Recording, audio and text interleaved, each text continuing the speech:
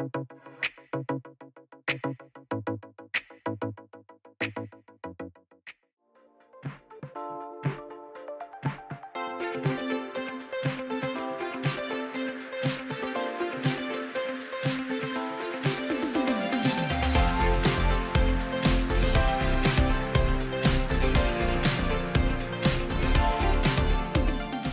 currently outside our hostel. Ah. This, this girl, this girl is Eileen.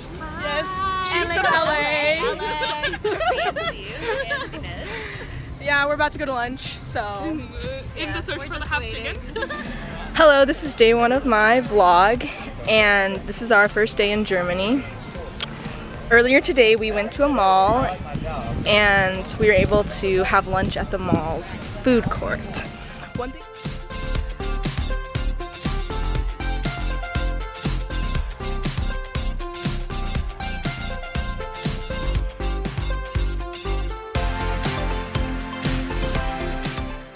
One thing I noticed while I was in the mall was the variety of food types available to eat. In comparison to Amarillo, we have a Chinese place, an Italian place, and a hot dog seven. So in this mall, there was Thai food, Greek food, Italian, sushi even.